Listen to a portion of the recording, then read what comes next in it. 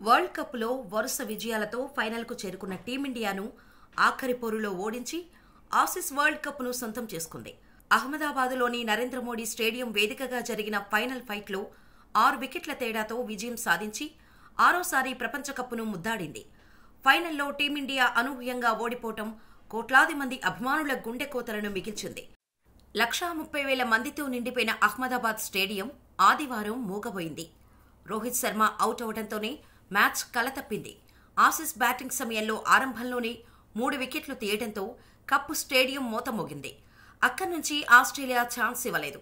భారత బౌలర్లను సమర్థవంతంగా ఎదుర్కొంటూ మరో ఆరు వికెట్లు ఏడు ఓవర్లు మిగిలి ఉండగానే లక్ష్యాన్ని పూర్తి చేసి విశ్వకప్ను చేజిక్కించుకుంది.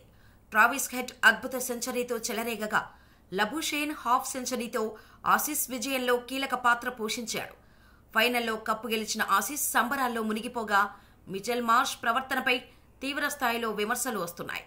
ప్రపంచ కప్పు గెలవటమంటే ఆటగాళ్ళకే కాదు మొత్తం యావత్ దేశానికే గర్వకారణం. కానీ ఆ గర్వం తలకెక్కకూడదు. ప్రపంచ కప్పు గెలిస్తే ట్రోఫీని ముద్దాడుతూనో నెత్తిమీద పెట్టుకునో చేతిలో పట్టుకునో ఫోటోలకు ఫోజులిస్తారు. కానీ మిచెల్ మార్ష్ తీరు మాత్రం మరొకలా ఉంది. వరల్డ్ కప్పుపై కాళ్ళు పెట్టి చేతిలో బీర్తో ఫోటోలకు ఫోజులిచ్చాడు. అంతేకాదు ప్రపంచం మొత్తం మాకు దాసోహం అనే రీతిలో ఫోటో దిగాడు. మేమే ప్రపంచ ఛాంపియన్లం అనే గర్వం మార్ష్ ముఖంలో స్పష్టంగా కనిపించింది. ప్రస్తుతం ఈ ఫోటో నెట్టింట వైరల్ అవుతుండగా క్రికెట్ అభిమానులు టీమిండియా ఫ్యాన్స్ ఫైర్ అవుతున్నారు. మార్ష్పై క్రమశిక్షణ చర్యలు తీసుకోవాలని ఐసీసీని రిక్వెస్ట్ చేశారు. కప్పు నెత్తిన పెట్టుకొని గౌరవించాల్సింది పోయి ఇలా కాళ్ళ కింద పెట్టుకొని అవమానిస్తాడా అని తిడుతున్నారు.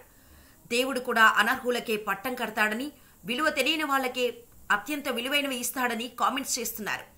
టీమిండియా ఆటగాళ్ళు గుండెల్లో పెట్టుకొని వరల్డ్ కప్ను ముద్దాడేవారని ఆసిస్ ఆటగాడికి బలుపు మామూలుగా లేదని విమర్శిస్తున్నారు.